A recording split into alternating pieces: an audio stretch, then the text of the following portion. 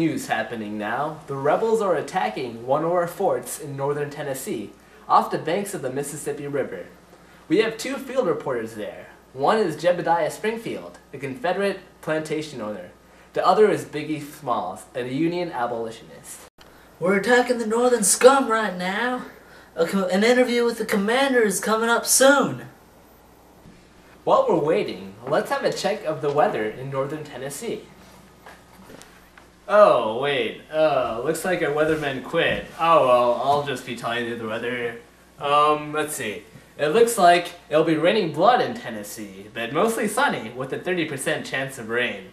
Be sure to take your raincoat with you if you plan on killing some soldiers.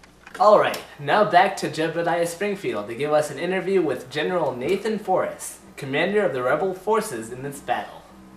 Hey Tom, we have here General Nathan Forrest, who's coming back from a Confederate attack on the Battle of Paducah around two weeks ago. The general is now attempting to retake Fort Pillow. General, do you have any words? Hello, General, and thanks for having me. Our strategy is quite simple. We're just gonna overwhelm them with our numbers. We'll force them to surrender unconditionally or suffer the consequences. So what exactly do you do if they don't plan to surrender? Well, my plan is to kill them all! Yeah! Back to you, Tom. Alright, now let's turn to our Union field reporter, Mr. Biggie Smalls. I have Major Lionel Booth here. He's currently defending the fort for the Union side. Hello, Smalls. Thanks for having me. How many troops do you have guarding this fort? We, well, we have around 600 men, around half white, half protecting this fort. You do realize that you are outnumbered by a thousand men, right? But we will never surrender. We must protect this fort at all costs. You are insane. Back to you in Quahog, Tom Tucker. Uh, I have a feeling this will be a very bloody battle. As a committed news service, we will supply live coverage of the entire battle. Let's go to our Confederate field reporter, who is currently live videotaping the action. As you can see behind me, Confederates are all on horses and are slowly surrounding the fort on three sides. Look at the soldiers go! Whoa! I think I see gunfire! Okay, now let's see how the Union forces are doing. It looks like the Confederate scum are using cowardly sharpshooters to snipe at us. Ah! I've been hit by a sniper! Ooh! That must have hurt, dog. You wanna know how I got these scars? I already know. A sniper hit you. Uh, the dude just dropped. What do I do? I don't know. While you figure that out, we'll switch to the Confederates after a short break. This program was brought to you by viewers like you. Thank you.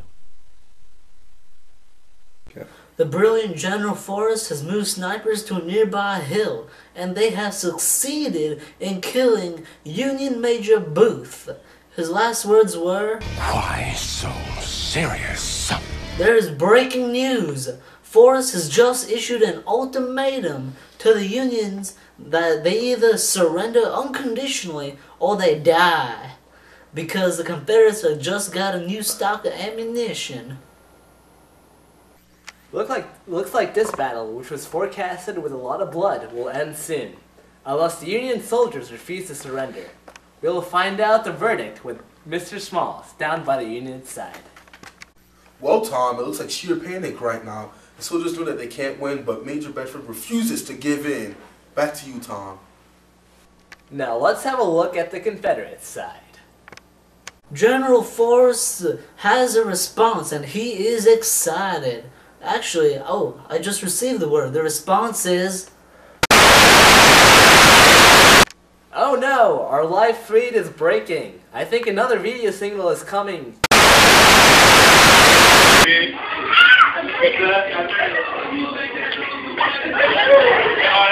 Wow, that was weird. Anyone know that guy?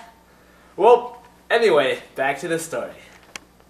As I was saying, The response was that the Federals refused to surrender, and now General Forrest has called for an all-out attack to destroy the 11 North. Speaking of which, Tom, do you know what NAACP stands for?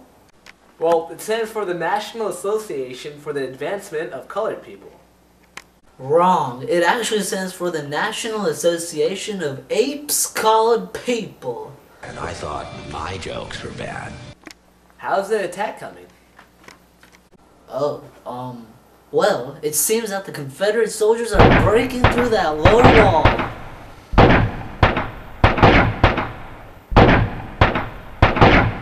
Now it seems that the Federals are in full retreat.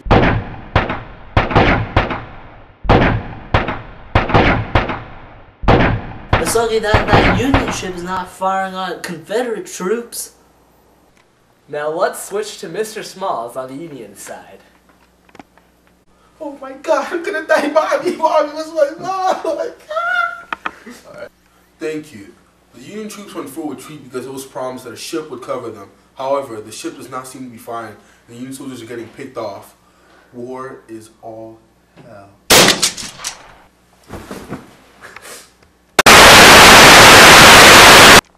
Oh no, our life feed has been cut off again. What is that? Wait, this just in. Wait. Oh no!